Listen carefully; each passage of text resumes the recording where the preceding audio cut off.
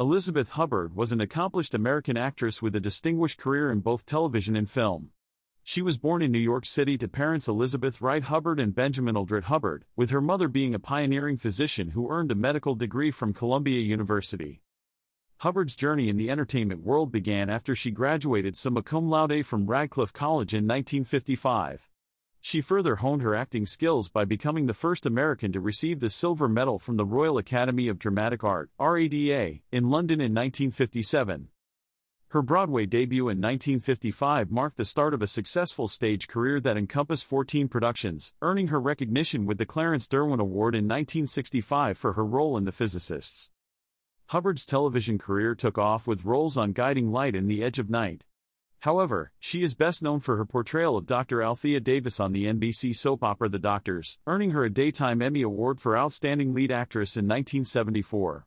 She left the show in 1977 but returned in 1981 until its cancellation in 1982. In 1984, Hubbard joined the cast of As the World Turns as Lucinda Walsh, a role that garnered her eight Daytime Emmy Award nominations. Her character's cancer storyline in 2005 was particularly memorable. She remained with the show until its final episode in September 2010. Elizabeth Hubbard's versatile talent extended to the big screen with appearances in films such as I Never Sang for My Father, The Bell Jar, and Ordinary People. She also had a recurring role on the Dutch soap opera Goede Tijden, Slechte Tijden.